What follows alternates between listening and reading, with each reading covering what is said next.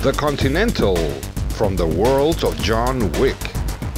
The Continental explores the story of how Winston Scott in the 1970s came to his position as proprietor of the New York branch of the Continental chain of hotels, safe havens for assassins on the grounds of which no business may ever take place.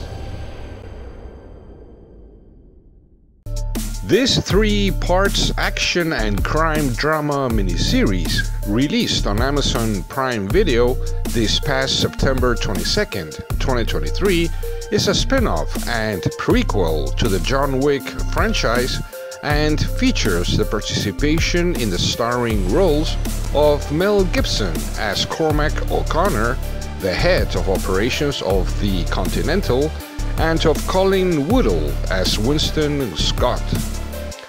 For us, who are fans of the John Wick films, we found the story as it has been presented in the first part interesting and entertaining, with good action scenes in the style of John Wick, but to be honest, not as exciting and dramatic compared to what we have been used to watching in a John Wick production.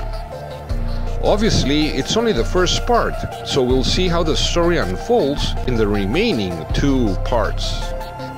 As we say, we found it entertaining, and because of what we have watched so far, we believe that the miniseries promises to meet the expectations of John Wick fans.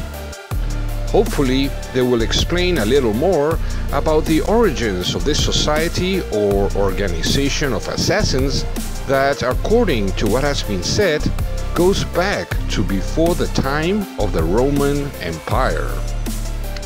As for the production elements, we found the cinematography, the 1970s settings, the set designs, the choreography of the action scenes, and the soundtrack to be good. The performances of the cast seemed all decent, but in this first part, we found none to be outstanding. In summary, so far we have found the miniseries entertaining and good to watch. That's why we tentatively give it a score of 3 stars out of 5. We recommend that you watch it if you are fans of John Wick and of productions of this genre. Until next time,